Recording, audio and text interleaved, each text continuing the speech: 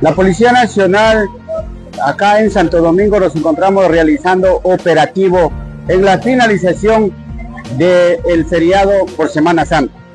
Sin mismo, efectivamente, todos los operativos en el interior de los buses y personas que se encuentran circulando al interior del terminal terrestre, hasta el momento no ha existido ninguna novedad para que tengan un viaje seguro a sus diferentes destinos.